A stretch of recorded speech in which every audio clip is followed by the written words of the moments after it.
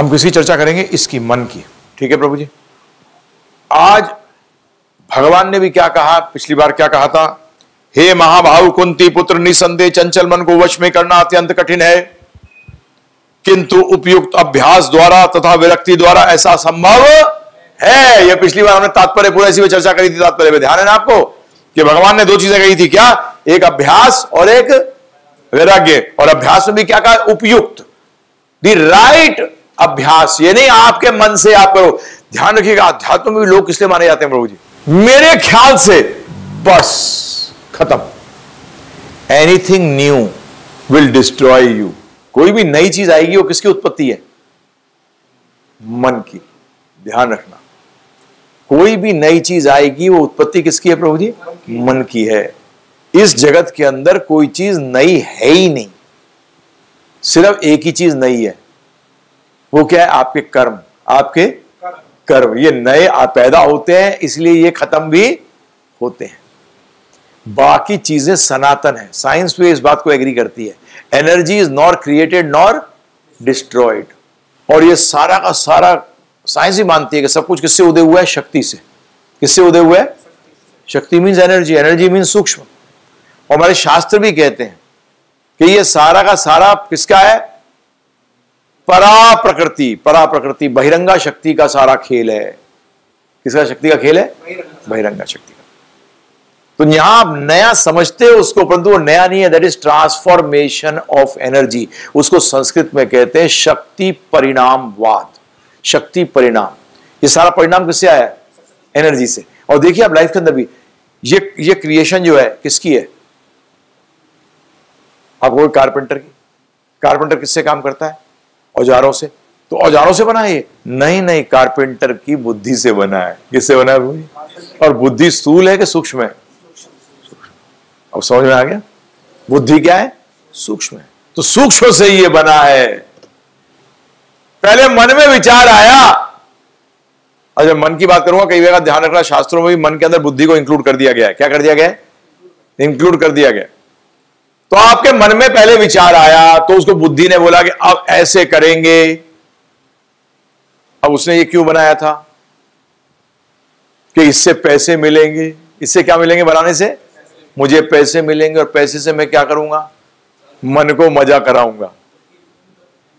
Ultimate क्या हुआ? इंद्र तृप्ति के अंदर अगर मन को मज़ा ना आए तो फिर बेकार है। तो किसके मज़े के लिए कार्य कर रहे हैं? मन के लिए। तो सारी चीज़ सूक्ष्म से उदय होती है। मन ही उदय करता है, गधे की तरह काम कराता है, अपने आप मज़ा लेता है, फिर छोड़ देता है। उस श्रंकल का मतलब क्या? टर्बुलेंट का मतलब क्या? चंचलता का मतलब क्या? यही उदय कराता है, यही मज़ा करता है, और फिर उसको, ये कमाल का आदमी है भाई तू। और जबकि मैं मन हुई नहीं, ये तो ऐसा हुआ जैसे भूत किसी के अंदर घुस गया हो। वही हालत हमारे के अंदर, हमारे अंदर कौन घुसा हुआ है? मनभूत। क्या? मनभूत ने हमारे को काबू कर लिया है। वो मन ही कराता है और अंत में मन ही मज़ा आता है, वहीं छुड़वा देता है। देखिए आप सोचिए, विचार करिए, सही बात है, गलत बात है? It start from the mind मन से शुरू हुआ, जो आपने कार्य किया उसे विचार किया विचार किया, और अंत में आगे कहा गया? फिर मन पे आ गया। ऐसी हो होता ना? पहले क्या आया? विचार, उसका मतलब क्या करा? सोचा। इसको कहते हैं हिंदी में सोचा। फिर उसमें क्या किया? मनन किया। क्या किया? मनन किया। और मनन करने के बाद बुद्धि को क्या कहा? ला। इसका इंतज़ाम कर। लोन लेना है, लोन ले। घर बेचना है, बेच दे। जो करना है वो कर। परंतु तू क्या कर? ला। समझ में आ रहा है प्रभु जी? गेट इट तो ये क्या करता है? एक क्या प्रपोजल देता है किसको? मन को। ध्यान रखिएगा, वापस प्रपोजल किसको जाता है? मन को जाता है। और मन कहता है इंद्रियों को। सेंसेस क्या कहता है सेंसेस को? ए, चलो, अब प्रोक्योर करो। क्या करो? प्रोक्योर करो। अब अंत में क्या होता है?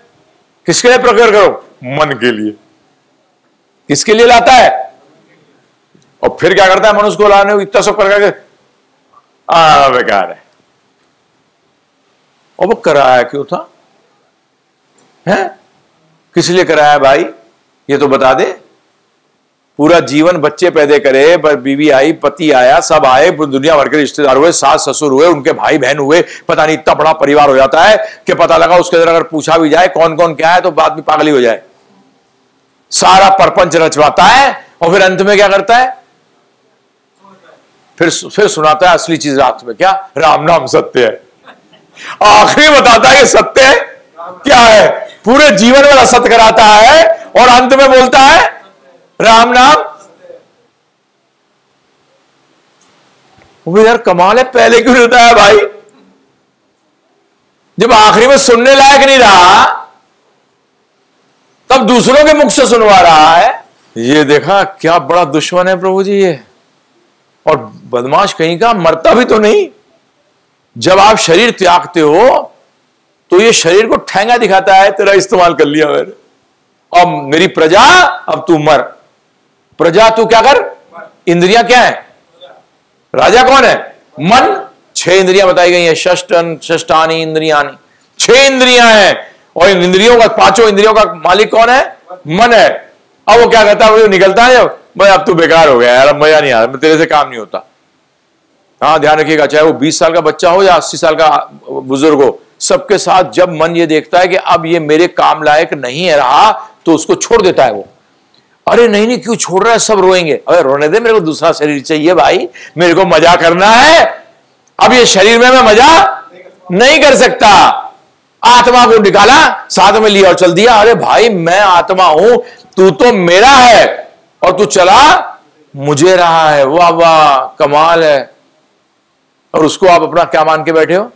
मित्र मान के बैठे हो। ऐसा दोस्त ना तो था, ना है, ना कभी। यही मानते हो कि नहीं मानते हो? अरे, पता नहीं ये गुरुजी क्या कहते हैं, वृंदावन चंद्रदास हैं, पागल हैं ये तो। अब दुनियादारी थोड़ी छोड़ी जाती है। है? तो जहाँ भगवान ने कौन सा छोड़ने को कहा वैराग के बारे में बात करिए। किसके बारे में बात करिए? यही तो आप लोग नहीं समझते। छोड़ने की बात नहीं हुई है वैराग की बात हुई है।